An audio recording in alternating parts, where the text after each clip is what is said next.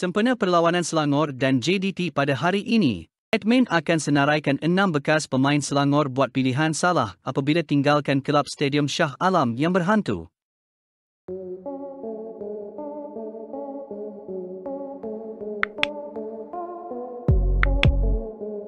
Asraruddin Putra Omar nama yang semakin dilupakan terutama penyokong bola sepak zaman TikTok. Bek kiri utama skuad Malaysia dan Harimau Muda malah buat lebih dari 30 penampilan antarabangsa. Asra telah mewakili Selangor sejak 2007 malah menjadi kapten gergasi merah pada musim 2013. Asra Rudin juga memimpin kelab merah kuning di saingan Piala AFC 2013 tetapi tewas di peringkat 16. Keputusan Asra berpindah ke JDT berbaloi kerana menjadi bek kiri utama Johor sebelum cedera pada akhir 2016. Asraruddin Putra Omar kini bermain di Liga Sosial malah menjadi kapten di Kelana United.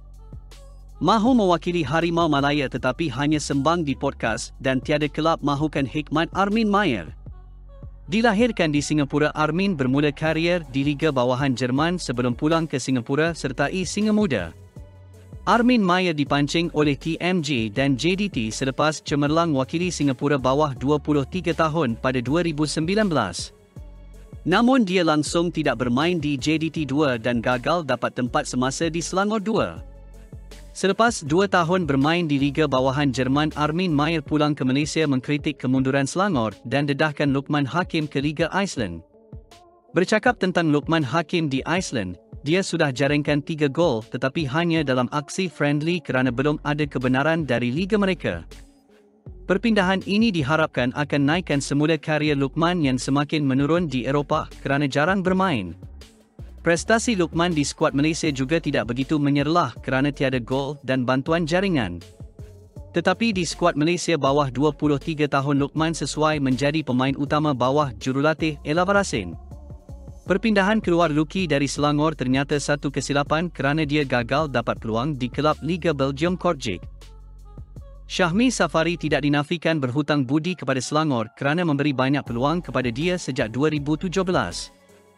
Nama Syahmi Safari juga semakin terkenal kerana dipanggil ke skuad kebangsaan dan jaringkan beberapa gol penting di skuad bawah 23 tahun dan skuad senior di Piala AFF 2018. Selepas 70 penampilan di Liga Super bersama gergasi merah Syahmi Safari ambil keputusan pindah ke JDT. Satu laporan mengatakan dia tinggalkan Selangor kerana beritahu TMJ kelab tidak hargai jasa dia. Syahmi kini menjadi pemain simpanan JDT dan masih dipilih Pan Gon walaupun tiada masa bermain. Nama pemain tengah Syahrul Iguan semestinya sudah dilupakan penyokong seantara dunia Selangor. Dilahirkan di Alor Star, Syahrul Iguan mula cipta nama di Negeri Sembilan menjadi pemain utama kelab di Liga Premier. Tetapi prestasi dia di Selangor pada 2018 menyebabkan Kedah Darul Aman berminat dapatkan hikmat Syahrul Iguan. Dia membuat 12 penampilan sebagai midfield bertahan dan jadi naib juara Piala FA 2018. Tetapi pindah ke Kedah ternyata pilihan salah kerana dia langsung tidak bermain sebelum berpindah ke UITM dan sertai PIB selepas tinggalkan Kelantan pada 2023. Ifedayo Olusegun pemain terakhir menyesal tinggalkan kelab pada 2022. Selepas cemerlang di Felda United dan Melaka Ifedayo sertai Selangor pada 2019 dan kekal sehingga tahun 2021. Di Selangor, dia menjadi penjaring terbanyak Liga Super selama dua musim malah jaringkan 56 gol dalam 57 penampilan. Ifedayo Olusegun memilih berpindah ke Melaka United kerana dijanjikan gaji dua kali ganda di Melaka tetapi pemain Hang Tuah ditipu oleh pengurusan kelab dan hampir enam bulan tidak dibayar gaji.